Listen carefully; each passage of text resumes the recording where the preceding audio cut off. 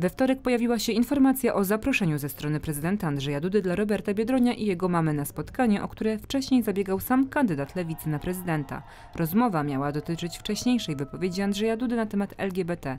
Na zaproszenie najpierw odpowiedziała Helena Biedroń. Wczoraj wieczorem Robert Biedroń zrezygnował ze spotkania z prezydentem, o które sam zabiegał, tłumacząc to obawą przed politycznym wykorzystaniem rozmowy przez prezydenta w celu ratowania jego kampanii. Nie pójdę jutro na spotkanie z prezydentem Dudą, bo czuję, że chce nas wykorzystać. Chce nas zaangażować e, do ratowania swojego wizerunku. Z kolei dziś w czasie, w którym miało się odbyć spotkanie, kandydat Lewicy podczas konferencji prasowej przed Pałacem Prezydenckim poinformował, że jednak chce się spotkać z prezydentem, jeśli Andrzej Duda przeprosi za swoje słowa. Przyjmuję to zaproszenie pod jednym warunkiem, że powie pan proste słowo, które niewiele kosztuje, ale będzie dużo znaczyło dla milionów Polaków.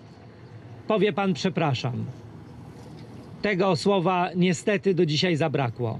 Na spotkanie oprócz Roberta Biedronia i jego mamy zaproszono też aktywistę LGBT Bartosza Staszewskiego, który przyjął zaproszenie, co spotkało się z dużą krytyką środowiska. Jednak już po spotkaniu pojawiły się sprzeczne informacje. Sam aktywista nie uznał go za udane. Przez całe spotkanie z Andrzejem Dudą na stole leżały zdjęcia ofiar homofobii, szczucia przez prezydenta i PiS.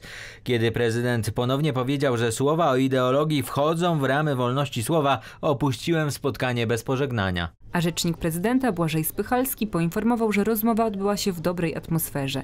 Wymieniono poglądy i argumenty. Prezydent Andrzej Duda jest otwarty na rozmowę i dialog ze wszystkimi niezależnie od ich poglądów. Polska jest jedna i każdy powinien potrafić podać sobie rękę. W dzisiejszym artykule dziennik Gazeta Prawna poinformował, że na słowa polskiego prezydenta miała zareagować strona amerykańska. W artykule przypomniano, że doradca prezydenta USA Richard Grenell odpowiada za globalną kampanię, której celem jest walka z dyskryminacją osób LGBT. Prezydenta miała upomnieć ambasador Georgette Mosbacher. Dziś na publikację dość ostro odpowiedział szef kancelarii prezydenta Krzysztof Szczerski. Także amerykańska ambasador informację dziennika nazwała fake newsem. Kolejne nieprawdziwe informacje. Nie rozmawiałam o tym z prezydentem Dudą ani z Richardem Grenellem. Powtarzam jednak, USA potępiają dyskryminację i nienawiść na tle rasowym, religijnym, pochodzenia lub orientacji seksualnej. Mamy do czynienia z rzeczą oczywistą i niepodważalną, ideologicznym zaangażowaniem dużej części dyplomacji amerykańskiej we wspieranie ideologii LGBT. I drugą rzeczą mamy, druga rzecz, która też jest oczywista, zmiana tonu moim zdaniem w wypowiedziach prezydenta w ciągu ostatnich dwóch dni właśnie w tej sprawie.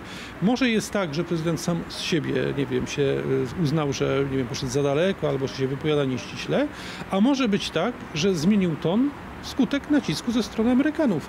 Moim zdaniem bardziej prawdopodobna jest ta druga wersja. Zamieszanie, które wywołał Robert Biedroń, zdaniem publicysty Krzysztofa Karnkowskiego, jest próbą ratowania jego kulejącej kampanii. Sondażowo spadł na ostatnie miejsce wśród liczących się kandydatów. Praktycznie cały elektorat, y, który mógłby na niego głosować, y, został odebrany czy przez Rafała Trzaskowskiego, czy przez Szymona Hołownię. Jest o wiele mniejszy niż elektorat lewicy, praktycznie już chyba cztery razy mniejszy. Robert Biedroń myślę, że dosyć rozpaczliwie szuka dla siebie jakiegoś tematu kampanii. No, pojawienie się wątku LGBT, LGBT mu zdecydowanie sprzyja, on będzie umiał z tego skorzystać, to zobaczymy. No myślę, że nie, na razie nie wie, co ma zrobić po prostu. Dziś wieczorem odbędzie się debata z udziałem wszystkich kandydatów na prezydenta, organizowana przez Telewizję Polską.